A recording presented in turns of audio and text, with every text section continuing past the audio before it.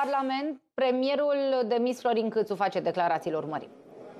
Adi, suntem ok cu sunetul, da? Bună dimineața! Uh, Am avut o ședință scurtă a grupurilor parlamentare ale Partidului Național Liberal uh, pentru a discuta despre uh, audierile de astăzi. Am cerut colegilor mei decență și profesionalism în timpul audierilor de astăzi. Decizia de, de vot a fost luată aseară în BEX. Ne vom abține la voturile pentru candidatura miniștrilor din acest guvern.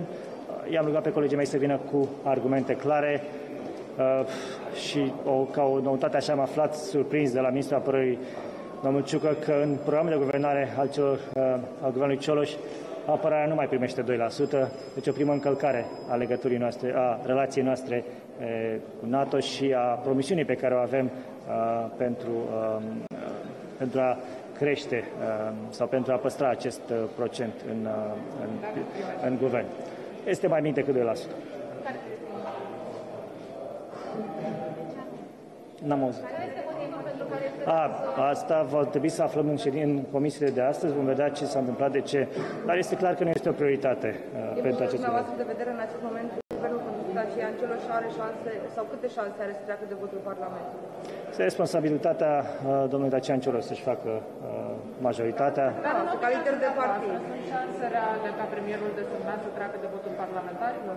Eu vorbesc despre uh, vorbesc pentru Partidul Național Liberal, este o decizie a Partidului Național Liberal în text de a fi prezent mâine, de a asigura vorum, uh, dar a nu vota uh, acest guvern. Ce veți face? Parlamentarii se vor abține și comisii la votul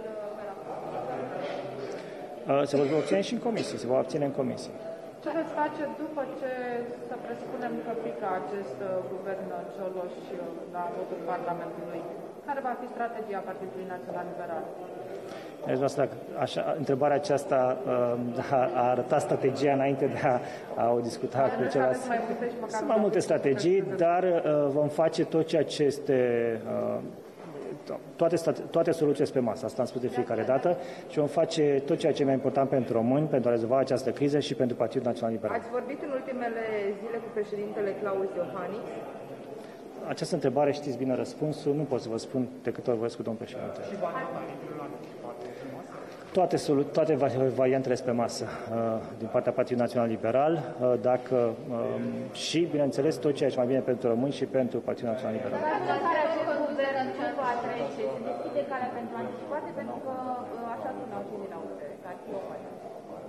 Dacă USR spune că este o variantă, noi am spus că toate variantele sunt pe masă. Având în vedere că respinge ca astăzi vă abțineți de la vot, mai există vreo șansă de împăcare cu USR în cazul în care doriți să faceți majoritate cu dumneavoastră? Eu cred că noi arătăm aici maturitate și uh, arătăm un pas sau o deschidere, pentru că nu vom vota împotrivă. Uh, parlamentarii Partidului Național Liberal nu se vor ridica, ridica din bancă și nu vor merge să pună bila împotriva acestui guvern, așa cum s-a întâmplat uh, partea cealaltă. Deci, din partea noastră există deschidere, arătăm că vrem să depășim acest moment. Ce a fost în trecut a fost în trecut. Haideți să rezolvăm problema depășim începând de mâine. Depășim moment doar cu dumneavoastră pentru funcția de premier sau există o deschidere mai largă, ca să zic așa, astfel încât s-a acceptat și o altă variantă de propunere de premier, tot din PNL.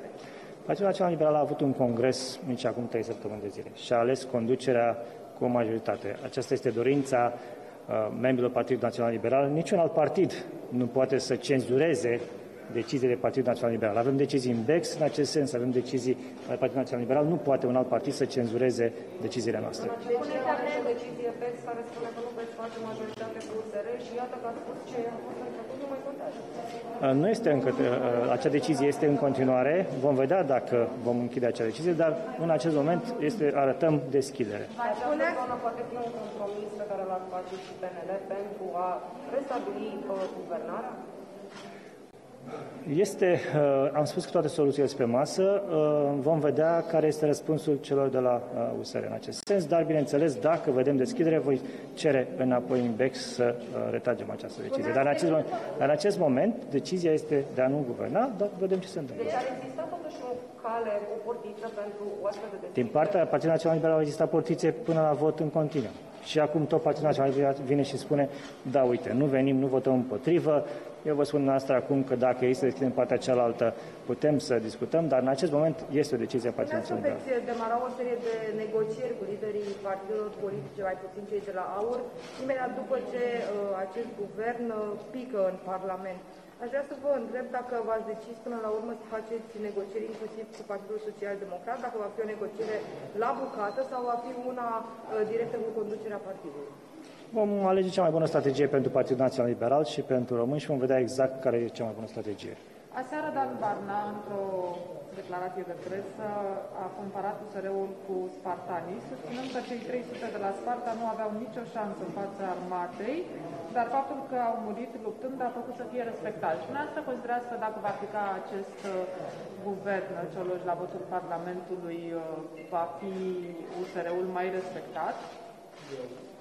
Asta e decizia românilor. Eu cred că românii respectă pe cei care își asumă responsabilitatea în momentele cele mai dificile. Partidul Național Liberal a rămas la guvernare, n-a plecat la guvernare, este astăzi la guvernare. Am luat soluții chiar și în această perioadă interimată. Am crescut numărul de paturi ATI, am, am, am crescut numărul de paturi în spitale, am adus mai multe de concentrate uh, pentru oxigen. Uh, deci arătăm responsabilitate și românii, până la urmă, vor soluții. Uh, chiar vă, vă aduc aminte că în ultima ședință de guvern am adoptat o ordonanță de urgență pentru compensarea um, facturilor la energie în această iarnă, ordonanță de urgență care a fost amendată ieri în Parlamentul României cu alte soluții pe care tot noi le-am propus. Um, românii vor de la politicieni responsabilitate și vă spun că Partidul Național Liberal are soluțiile pentru această perioadă.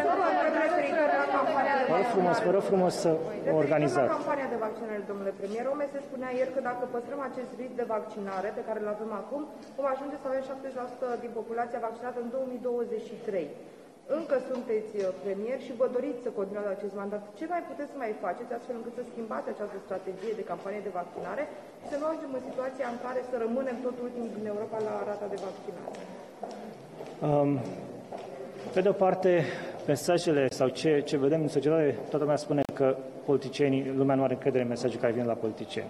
Um, noi putem și, și, și guvernul, dar și Partidul Național Liberal, care a luat o decizie în BEX de a, a promova o campanie de vaccinare, vom face acest lucru. Dar e nevoie de mai mult, e nevoie de toată societatea să înțeleagă că doar prin vaccinare uh, putem să depășim acest moment, e nevoie de toți liderii uh, din societate. Noi vom discuta, noi, noi vom discuta cu, așa cum am făcut și până acum, cu prefecții, cu uh, primarii noștri, cu primarii noștri, Așa cum am discutat și până acum cu ei, le vom spune și în continuare să promoveze campania de, de vaccinare. Dar, repet, responsabilitatea trebuie să fie și a noastră, a noastră individual, a fiecare dintre noi, că, pentru că, până la urmă, atunci când ne vaccinăm, salvăm, ne salvăm viața noastră, dar și a celor din jurul nostru. Ce instrumente v-au lipsit până în acest moment, domnule Cristu? Ca să nu promovați această campanie de vaccinare? Am promovat, campania de vaccinare a fost promovată în Premierul uh, demis Florin Câțu după ședința biroului executiv al Partidului Național uh, Liberal. Uh, o veste pe care ne-a dat-o cu privire la ceea ce se va întâmpla mâine când se va oferi votul de investire pentru guvernul Dacian Cioloș. PNL va fi prezent mâine în plen, va asigura quorum, dar nu va vota, a spus premierul uh, demis uh, Florin Câțu și o propoziție pe care a repetat-o obsesiv. Vom face tot ce este mai bine pentru români și pentru uh, Partidul Național Liberal. După ziua de mâine, toate variantele sunt pe masă, se vor purta discuții și Partidul Național Liberal va lua cea mai bună decizie.